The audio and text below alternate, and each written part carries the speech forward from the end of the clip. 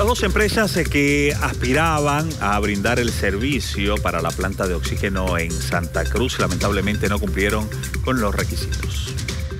Después del proceso de selección en el cual 23 empresas presentaron su solicitud para poder, junto con la alcaldía cruceña, brindar una planta de oxígeno para la ciudad de Santa Cruz, las dos que quedaron preseleccionadas, lastimosamente una no cumplió el requisito técnico que solicitaba la alcaldía y la otra no cumplía con los requisitos legales, lo cual ha hecho que lastimosamente este proyecto se declarara desierto. Lastimosamente, después de, y esto tiene un proceso administrativo que tenemos que cumplir.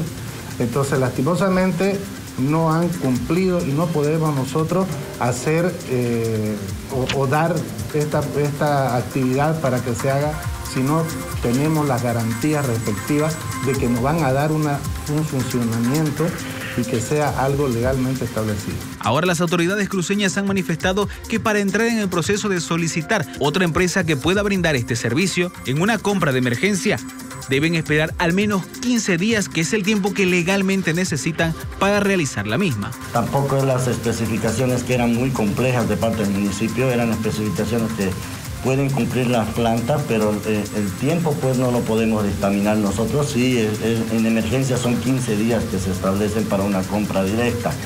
Por encima de eso no, se pudiera eh, considerar una compra de emergencia, ¿no? Entonces, pues lamentablemente la cantidad de oferentes recibidos no cumple con este plazo mínimo, eh, máximo, perdón, establecido por la unidad solicitante.